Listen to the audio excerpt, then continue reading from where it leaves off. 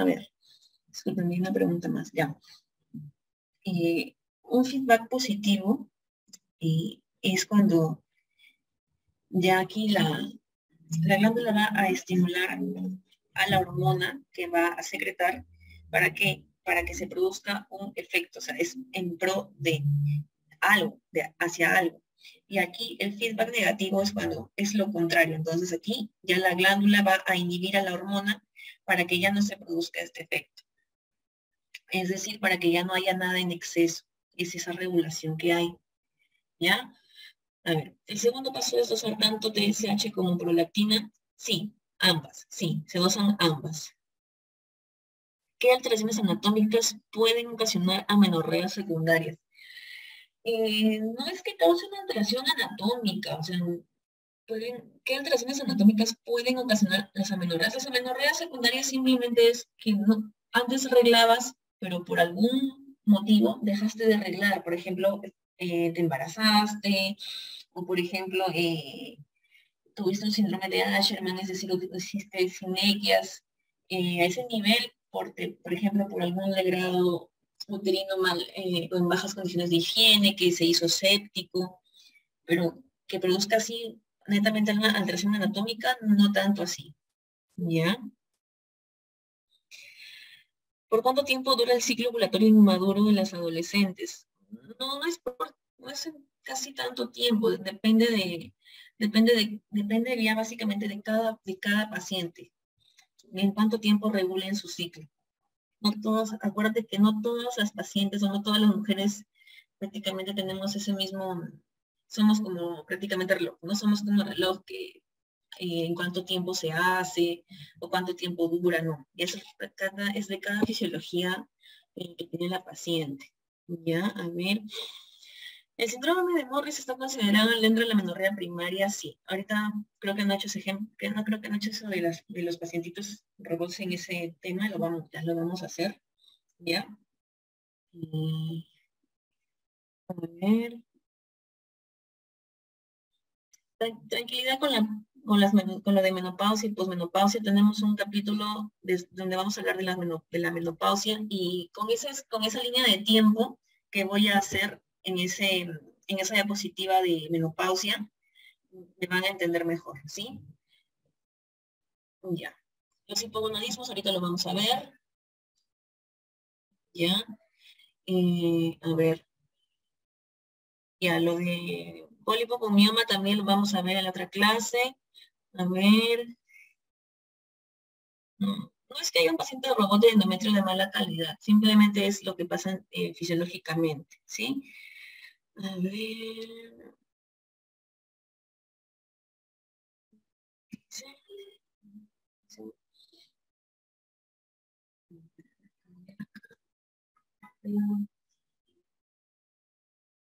¿Qué dice? A ver, entre una consulta de paciente no.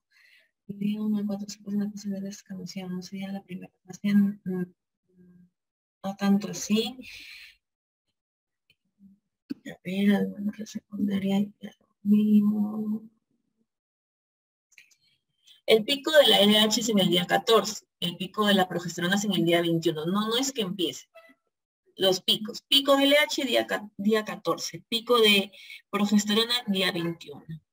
Ya, la génesis de Müller ahorita vamos a ver.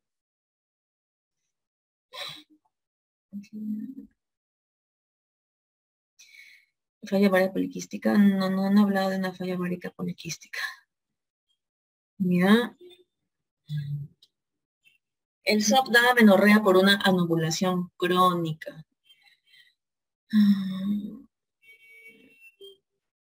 A ver, ¿qué dice?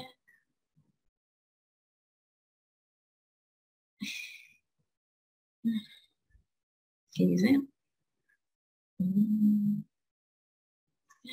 Si consumes, dice, Pacientes que consumen misoprostol después de 7 o 9 días, ¿qué efectos pueden presentar? Amenorrea o sangrado uterino. A ver, ya pues, misoprostol que como abortivo, ya si es un abortivo pues va a sangrar, ¿no? Va, a expulsar el feto. A ver, eh,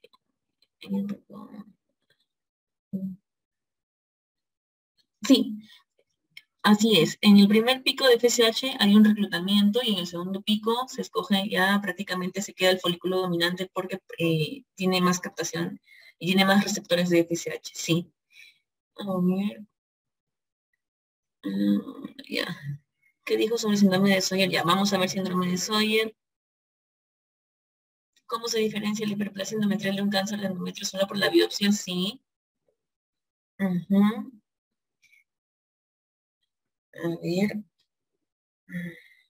¿Qué más? A ver, a ver acá. Desagregado teniendo normal agudo sería el PAL. No, no se, o no se puede clasificar así. No, no se puede clasificar así. Eh, de acuerdo a la etiología tenemos palcoin y de acuerdo, de acuerdo al tiempo tenemos ese agudo crónico. No, no, no, no los mezcles. Ajá, no, no los mezcles. Ya, a ver. Mm, ¿Qué más, qué más, qué más?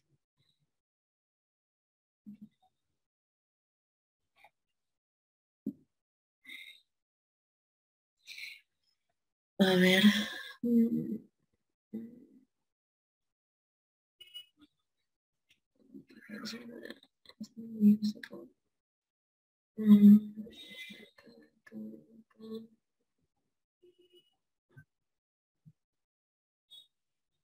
folículo que va hacia la que va hacia la fecundación tiene que ser el, el, perdón, el que está este, el dominante, ¿no? A ver. Pues también hay que tener el pólipo para que se le haciendo. No, no es que haya algún tamaño en sí, ¿ya? Porque son varios pólipos y si ya viene a ser causa de infertilidad, también se tiene que operar. Y si da mucha clínica, también se, tiene que operar. No es tanto al tamaño del pólipo. Donde, donde importa el tamaño ya es en, un mioma. En el mioma, como vamos a ver en la otra clase, si el mioma ya mide más de 5 centímetros o 5 centímetros, ya lo tengo que operar. ¿Por qué? Porque los miomas tienen riesgo también de torcerse. Entonces, por ese lado va, ¿ya? La localización de los pólipos, yo te hablo de los pólipos endometriales. De ese pólipo te estoy hablando, del pólipo endometrial. Porque pólipos podemos tener en cualquier parte de nuestro cuerpo, por si acaso. Desde la nariz hasta en el tracto, este, gastrointestinal también. Podrían estar a nivel cervical también, sí. Un pediculado puede estar a nivel cervical, sí. La prolactina no se relaciona con el ciclo endometrial. La prolactina se relaciona con la producción de leche. La prolactina se encarga de la producción de leche, ¿sí? A ver.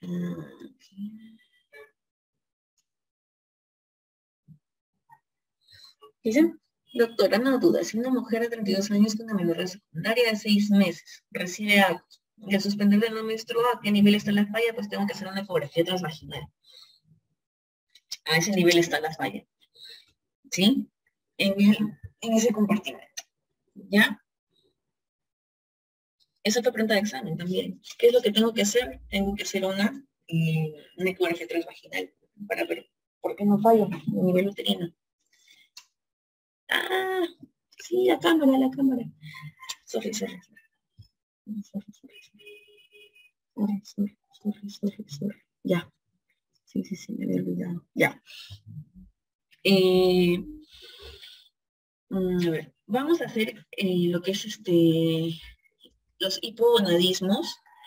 Eso es parte ya de endocrino, pero aquí eh, voy a darles como que el marco general para que ya ahí puedan ir haciendo sus pacientes robots. Y vamos a ver este, también un poquito de lo que es este PEPAS en cuanto a que es embriología aquí ya este, del sistema reproductor. ¿Sí? Más que nada de ovario, de clítoris y todo lo que es conducto de Y, son, y, este, y el seno urogenital. Aquí es puntual, ¿ya? A ver.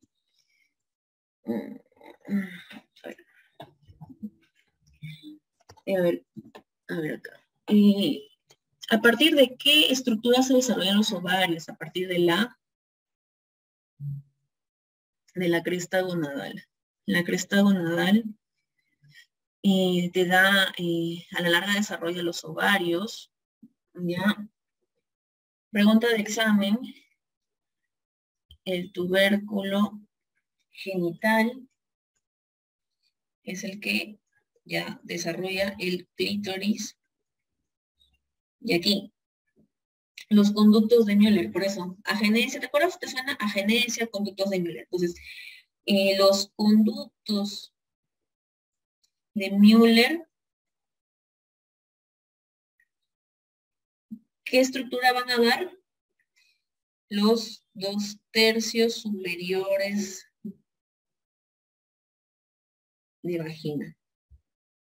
Es decir, la parte proximal de la vagina. Entonces, si me falta un tercio, ¿no? Para completar tres tercios, ¿no? Entonces, ¿quién eh, me da el tercio faltante? Es el seno urogenital. El seno urogenital me da el tercio inferior de la vagina, es decir, la porción distal. quieres aquí bonito, ya. Imagínate que esto es ya canal vaginal.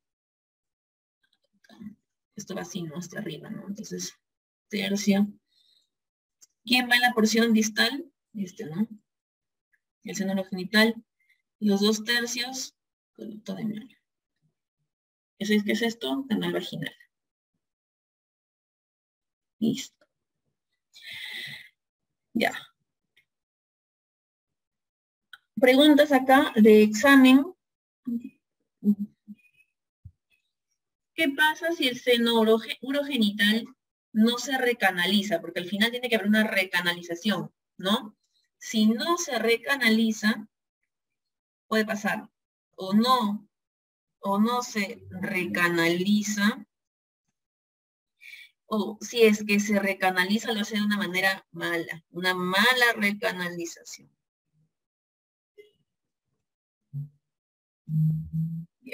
Si no se recanaliza, pregunta de examen, esa fue una de recién en Yuca estuvo, hace una atresia vaginal, no hay vagina.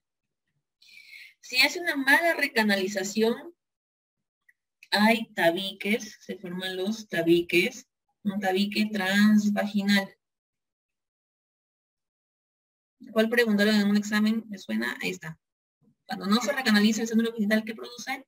Y te ponían atresia vaginal, tabique, útero de Delfo y todas esas cosas. Entonces, acuérdate, desde ahí, tenías que marcar algo que, que, tuviera que ver con la vagina, ¿no? Porque es el que se encarga de formar el tercio inferior de vagina. ¿Sí? Bien. Ya, hasta ahí Ah, voy a mover esto acá para... Ahora acá. Em, ¿Qué es el hipogonadismo? El hipogonadismo es cuando la función de las, de las gonadas, es decir, del testículo y del ovario, eh, no, no, está, no está llevándose de una manera adecuada. Eso es un hipogonadismo.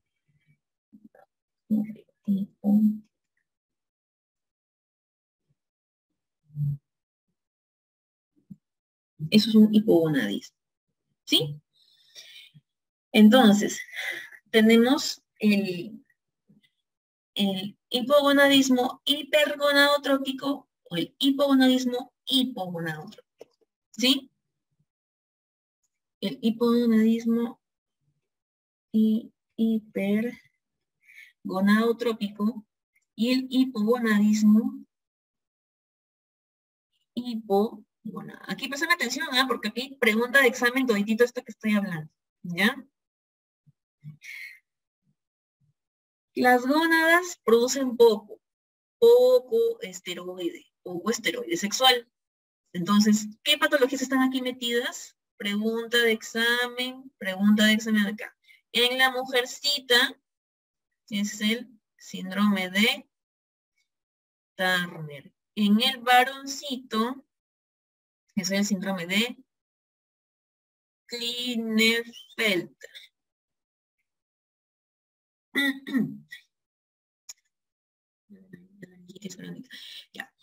En el hipogonadismo hipogonadotrópico, ¿qué pasa? Eh, se va a liberar, mm, se libera poquita cantidad de GNRH, de hormona, de hormona liberadora de gonadotrofinas. Entonces, si se libera poquito, pregunta examen, ¿quién hace hipogonadismo hipogonadotrópico? Es decir, hay poquita hormona, es el síndrome de Kalman y el síndrome de Prader-Willi. Son preguntas de examen. Es, aquí es un niñito obeso y asociado a un síndrome de hipogonadismo hipogonadotro. Listo. Nos preguntan cariotipos, preguntas maleadas, pero sí nos preguntan, les voy a poner aquí los cariotipos, una lista, ¿ya? Mira, el síndrome de, eh, el, el síndrome de cariotipos. Ya. El síndrome, el, el síndrome de Turner, ¿te acuerdas cuál es el cariotipo? Es el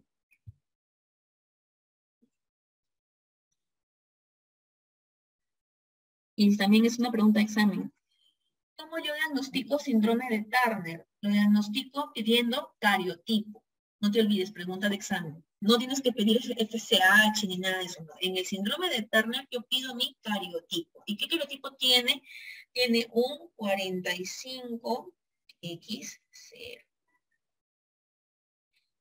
El síndrome de Rokitansky tiene un cariotipo 46XX. El síndrome de Morris, que por ahí me preguntaron, si ese tiene 45, 46XX, Morris tiene 46X. Y el síndrome de Klinefelter, sorry la dislexia, Klinefelter tiene 47X. X, Y. Listo. Nos ha preguntado por este. Es que es el más frecuente, pues no por eso se tiene que preguntar porque es la causa más frecuente de amenorrea primaria. Mientras el que tú te sepas lo más frecuente de la patología, normal. ¿Ya? Ahora, no sé si me alcanza la Ya te lo voy a hacer ya. Entonces, vamos a hablar de Turner lo van a hablar en pedichuquitría, pero lo vamos a hablar aquí también. Complementa su resumen con lo que hablan en pedichuquitría. Síndrome de Turner.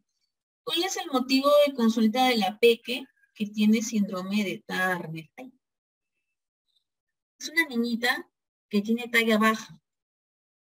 Talla, talla baja. Por supuesto, estamos en el contexto de las amenorreas primarias. Todo, todo este manchón dos, tres primeros, amenorrea primaria, ¿ya? Este no porque es del varón. Vamos a amenorrea primaria. Recuerda que tiene hipertelorismo, pezones separados. ¿Te acuerdas? Cuello alado. El signo de la esfinge, también por ahí lo leí, signos de la esfinge. Y cuando esta pacientita, antes de que nazca, era, una bebé, un, fetito, ¿qué hallazgos habían en la ecografía? Pregunta de examen de obstetricia. Ella, cuando era un fetito, eh, tenía un higroma quístico. ¿Ya? Síndrome de Turner. Preguntado, recontra pregunta. paciente robot del síndrome de Rokitansky. Por favor, lo completas con la clase del doctor Vivian. Síndrome de ah, la Rokitansky. El síndrome de Rokitansky, como vimos en la diapo anterior, aquí la paciente no tiene vagina. Entonces, no tiene vagina, es decir, agenesia, no agenesia vaginal. ¿Sí? Aquí, ¿te acuerdas de Müller? Y aquí entra Müller. Acá hay una agenesia, es decir, no hay conductos de Müller. ¿Tiene ovarios? Tiene ovarios. Ovarios. ¿Ok? Porque tiene ovarios. ¿Mamas tiene buen desarrollo de mamas? Sí, hay un buen desarrollo mamario. ¿Sí? Vamos a hablar ahora del síndrome de feminización testicular.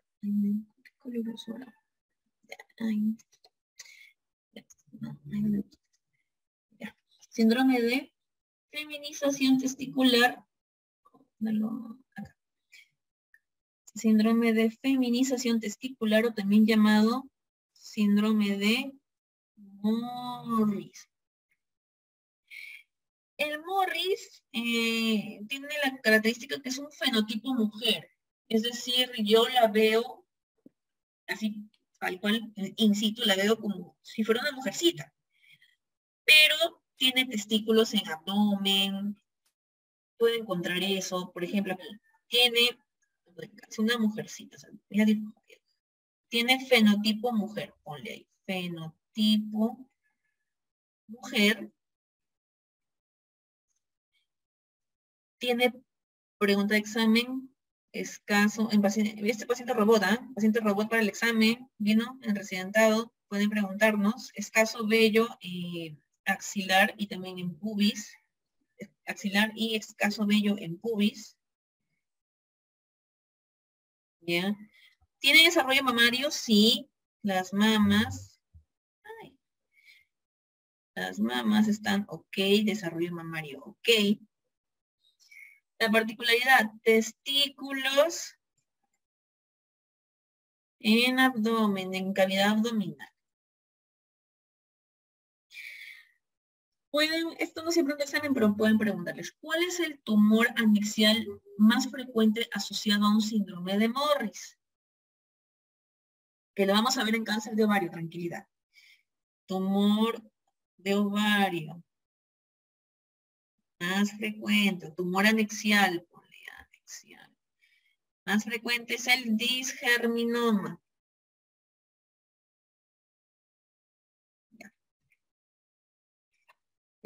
Prácticamente toda la diapo nos han preguntado. Síndrome de Sawyer nunca han preguntado, o también llamado síndrome de disgenesia gonadal, perdón, o disgenesia gonadal pura. No sé con qué color ¿Ya? Disgenesia gonadal pura.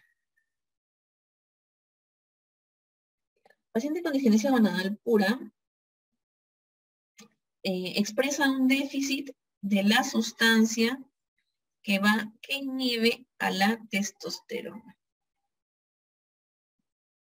¿Ya? El problema aquí es que yo veo que tiene mamas, tiene labios mayores, pero tiene testículos. ¿Ya? Tiene testículos. Tiene testículos. ¿Se puede quedar viviendo así la paciente? No. ¿Por qué no? Pero tú dices, pero no, no se puede quedar así. ¿Por qué? Tengo que sacar estos testículos. Tratamiento, eh, no sé cómo es el término, eh, pero es retirar, extraer, ya, sacar testículos. Sacar testículos, ¿por qué? Porque se complican estos pacientes con otro tumor anexial. ¿Cómo se llama? Con el tumor. tumor que se complica, puede preguntar a gonado